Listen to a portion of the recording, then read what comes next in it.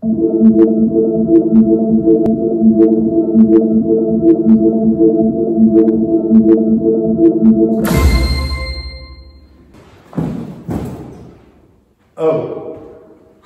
good morning. Welcome to a new video of what to expect when you return to Lifeway KidzLife Edition. So I want to take a moment and show you what to expect when you return to register your children and what your children will experience here in KidzLife. Now, um, I must admit, you kind of caught me in the middle of a game. This is one of our new games, interactive games that we have to uh, use with our KidzLife team as they come back to campus in our large group area. Um, and it's a great game. We have quite a few games like this to, uh, to engage your children so that they are not coming in contact with other kids with games that uh, require uh, physical contact with someone. So we found some ways to, to help do that. But let me walk you through um, what to expect. And let's just start where everyone starts each Sunday, and that's at registration. So let's head over to registration, and I'll explain to you the details.